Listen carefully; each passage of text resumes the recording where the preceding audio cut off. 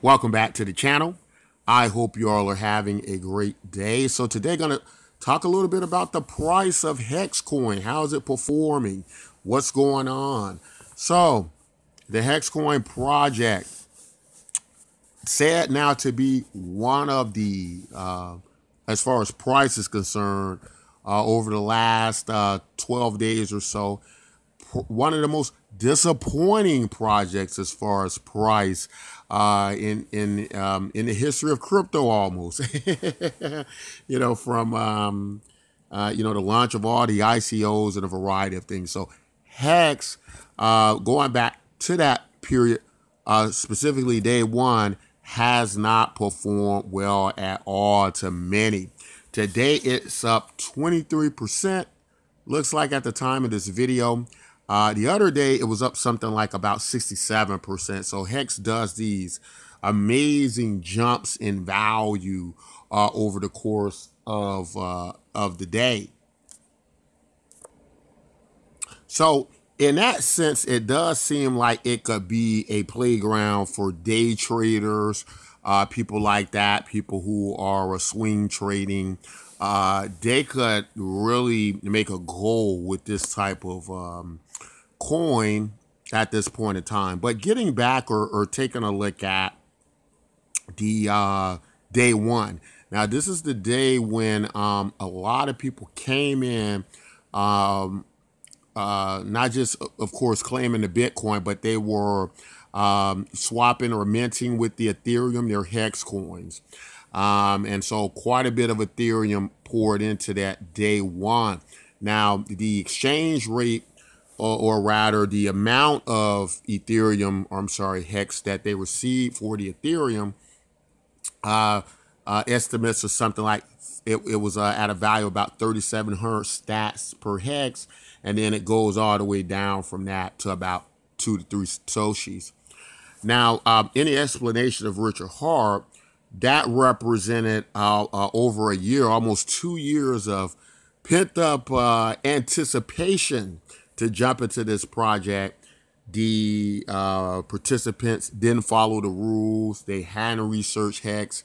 You know, a lot of times the assumption is just that FOMOing in, getting in without understanding or doing the necessary research in a project. And Richard Heart had explained that you would gain more value by stretching out the uh, amount of, um, of, of, of hex that you claimed or, or minted, you know, over the course of some days and not just go all in on day one because of the uh, the uh, adoption amplifier, the way it works, uh, there were going to be a variety of different bonuses on day one to day two to day three, and just the game theory of his system didn't allow you to get the the most advantageous situation on day one. This is kind of uh, similar to what happens in your standard ICOs as well, right? You you buy in and the, the, price pumps day one.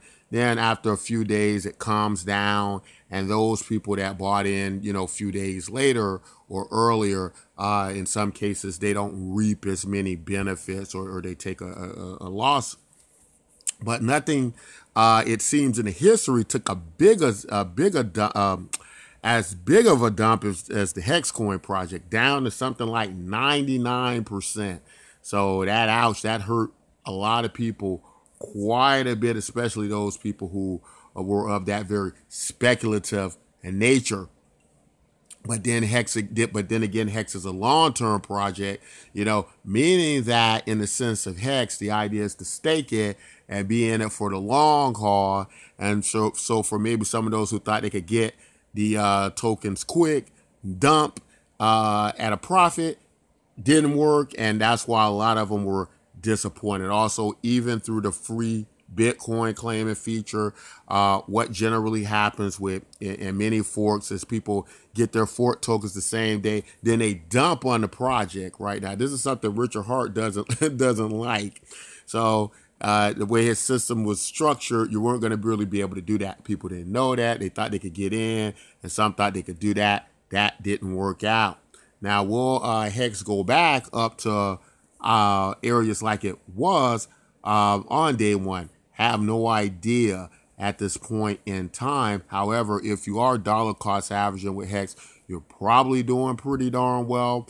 Uh, low sat tokens generally uh, uh, can offer a great deal of potential. They can trade very well, but at the same time, be um, careful of that downward uh, those, those downward ticks is what can happen is as you're maybe moving up 30% per tick remember it's going to move back about the same value. So not a good situation. Got to be really careful in how you trade this token. If you're not in it for the long haul you're probably not going to like what you see.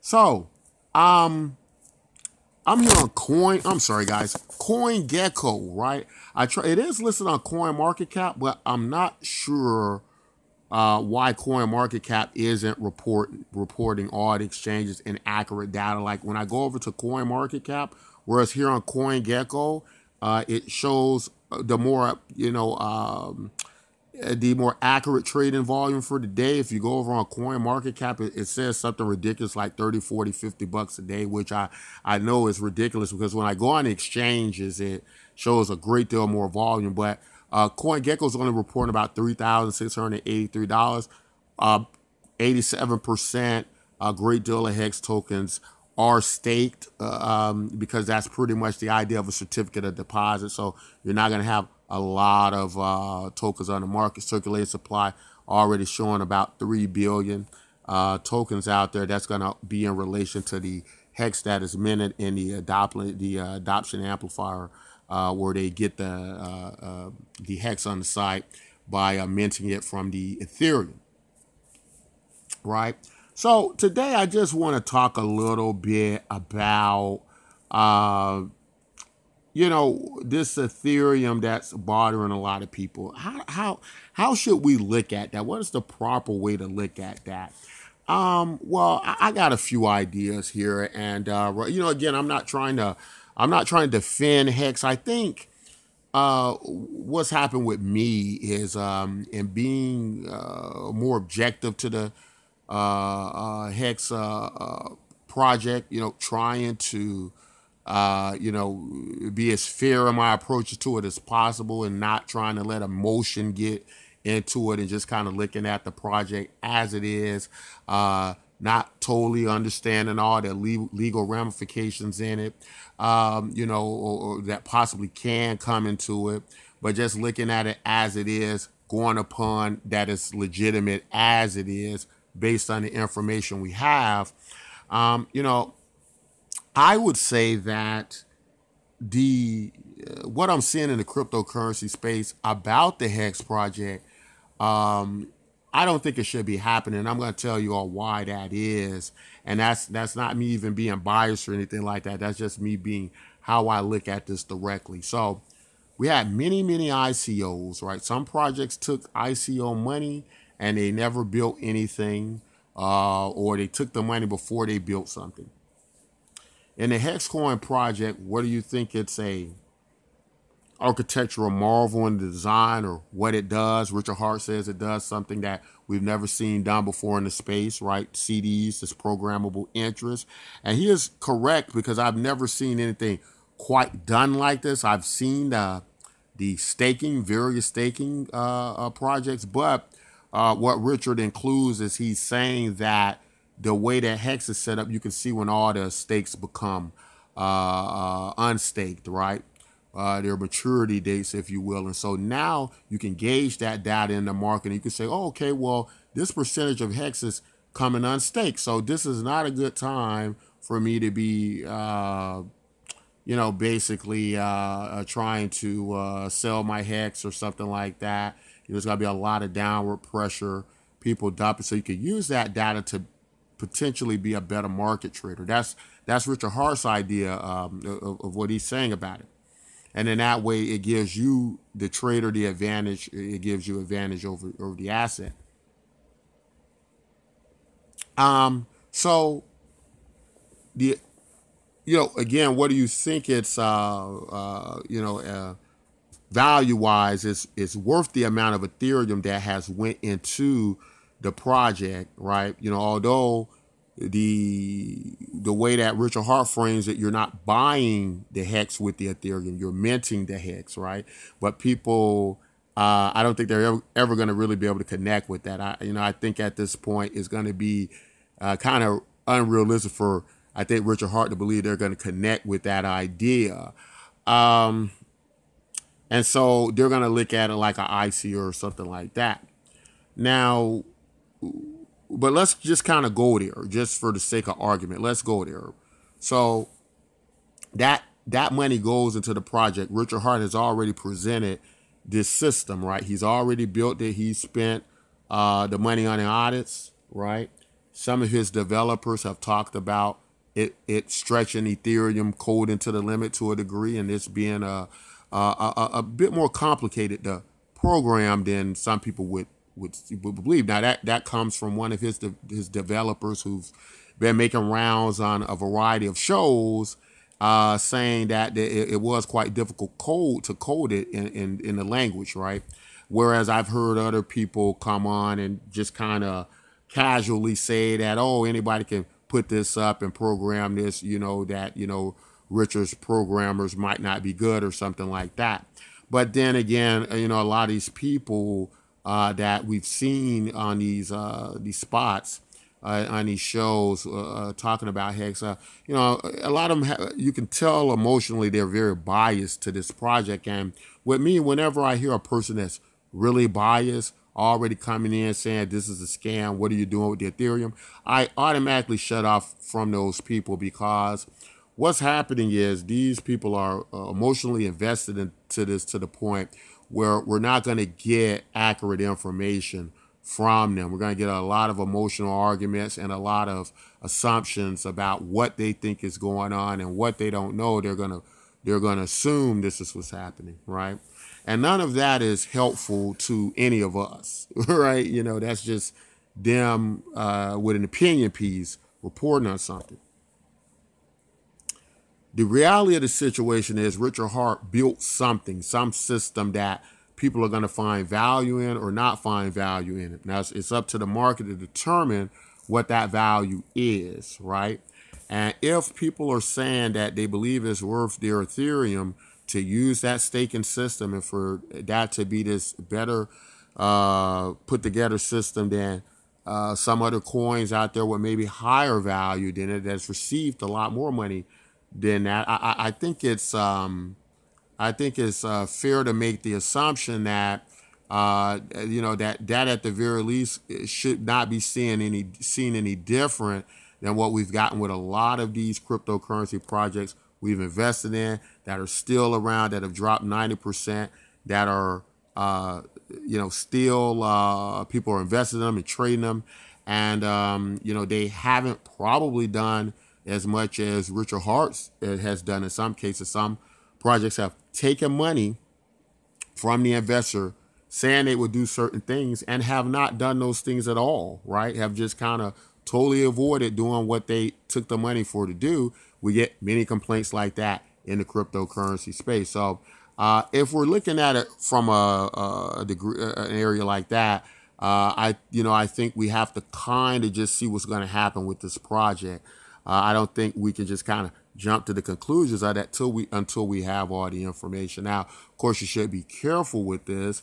Uh, as far as I understand it, people are still claiming their Bitcoin from snapshot on uh, what was that uh, uh December the first, I believe, right? So there's only 121,000 addresses that have been claimed. It's probably like 50 million Bitcoin wallets. So there are a lot of people out there who could still be claiming hex, and, and people are uh, doing that, it would seem, right? Because that's how you get the hex free. Now, if you're one of those people who missed out, you just feel like I got to try this, I'm willing to sacrifice some Ethereum for it to get in. Well, now you know that um, you have to consider all these factors, and you have to now look at it as uh, any other investment, excuse me, um, out there. Now, another thing that's come up quite a bit is that they're saying that uh, you know, when Richard Heart on the site talks about the 10,000x returns and, and things like that. Well, now here's where I do agree with many critics that that kind of language, even though I understand Richard Heart's saying that he can supply that because it's all going to be paid out in hex, right? But that kind of language is opening up uh, a situation where investors can claim a type of confusion, you know, in that in in that you know that language because even now I see a lot of people going around talking about oh you know this has to be a security because he's claiming uh, you can you, he's claiming returns and guaranteed returns at that and, and, and ideas like that. But really, what Richard Heart is saying is he's saying that he can meet those returns because it's all calculated in hex. Now, uh, that is, uh, you know, uh, I, I, understand where he's coming from in that, but the, you know, the, the the way it's worded on that site, you know, it could open up an opportunity for the legalities to come in and try to claim that people were confused and, and you know, and maybe then he becomes liable in some sense. Um, you know, hard to say how this will, will go ultimately, but I can tell you that if you are minting it with the Ethereum. If you know, if you look at it like if you were to go buy a lottery ticket, you know, or something like that, you're going out a night at the casino or something like that. You know, if you're going to lose sleep over it, look at it something like that, right? And and if it if it doesn't sit well with you, just don't go near it in that way. If you can't claim it free, don't go near it in that way. Uh, you know, and, and, and if you can look at it like something you can lose, which is how you should look at all investments, then you you know then then you're able to take those risks with the uh, knowledge of knowing what what you're looking at here. You know what what it is, right? Yeah, high risk. You know, it has been the investment mantra for as far as I could remember that people who have an unusual tolerance for risk oftentimes gain much more returns. You know, that's kind of obvious investing 101. So if you're looking at hex like that, maybe you hit big, maybe you don't, right? But but but now you know where you're sitting with this project. But that's all I want to say in this video. If you like content like this, don't forget to like and subscribe. And until next time, as always, take care.